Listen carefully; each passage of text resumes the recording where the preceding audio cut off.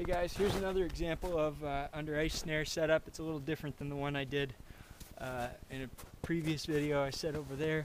Um, this one I have a dead uh, pole going down the center and I've wired two uh, aspen sticks uh, for bait to each side of that. Um, I cut a few little uh, places in the bark to make it look like a beaver's been feeding on that. Then I got my two snares. These are 5 64ths diameter, 7 by 7 wire. We got uh, our, our wire here, our pigtails to anchor those snares. Um, we want those to set pretty freely so they can fire without any interference. We got our number 9 wire that's going to go to the top of the ice and uh, and uh, anchor that. Um, and that's that's about it. So beaver come in and feed around here. Uh, hopefully they'll get get tangled up in those snares and we'll have them caught.